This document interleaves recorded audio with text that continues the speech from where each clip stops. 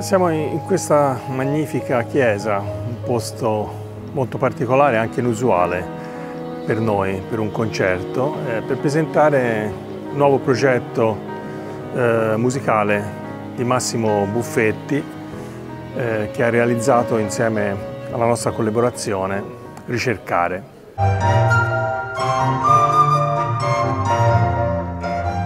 Oggi si tratta in realtà di un debutto, di un'anteprima assoluta, però va detto che abbiamo potuto eh, contare su un'importante anteprima con un concerto eseguito a Livorno proprio pochi giorni prima della partenza, grazie all'invito da parte della comunità ebraica della città.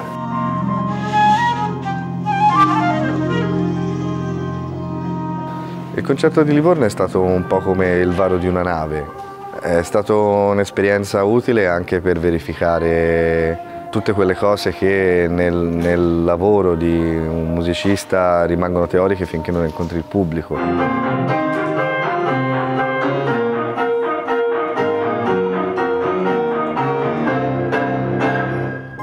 L'amicizia nostra è nata da un'amicizia comune con un grandissimo personaggio come Franco di Francesco Antonio. Abbiamo un po' raccolto l'eredità della nostra collaborazione con lui e iniziando a lavorare insieme siamo diventati amici. Questo progetto scaturisce da ehm, un'esperienza diciamo, musicale raccontata a seguito di periodi trascorsi in luoghi per me abbastanza significativi. Massimo è una persona molto disponibile, molto generosa, che ha una sua carica molto intensa anche di, di, di cose da dire. Abbiamo vissuto noi i suoi viaggi in Nepal, per esempio, riguardo a questo progetto da lontano, però è riuscito a coinvolgerci.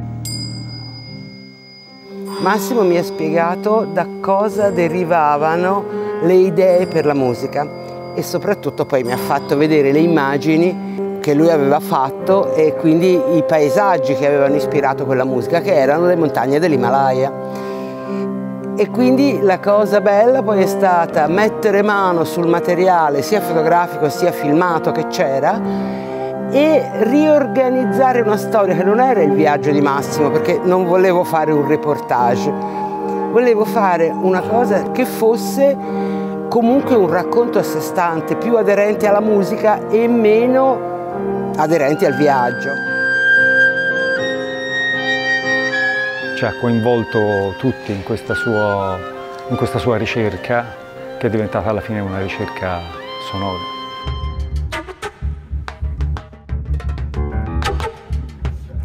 Ognuno di noi porta il proprio apporto nella ricerca del suono, nella inserire elementi di improvvisazione, nel rielaborare il materiale eh, insieme a Massimo, appunto secondo una prassi ormai molto consolidata perché ormai ci conosciamo benissimo.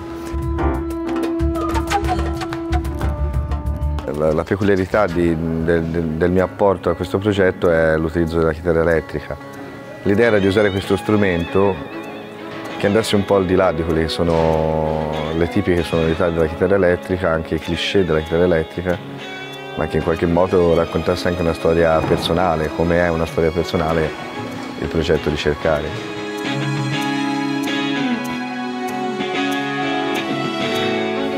Ma ricercare effettivamente vuol dire anche un pochino cercare di trovare il senso della propria esistenza il viaggio, il famoso viaggio dentro se stessi, no? il modo di, di, cercarsi, ricercare in qualche modo anche eh, qualcosa di misterioso, come la propria identità, il senso di molte cose.